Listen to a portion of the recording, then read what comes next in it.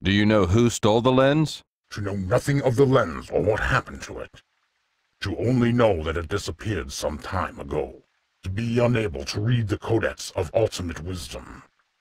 To know that without the lenses, the Codex appears to be gibberish. To hope that perhaps you can help find the lens. The Codex of Ultimate Wisdom? To not believe that the Avatar could have forgotten about the Codex of Ultimate Wisdom. To know that the Codex is the holy book of my people and yours. To know that the Codex will answer any question asked of it, provided the lenses are used. I will try to find the lens. To be very grateful to you, Avatar.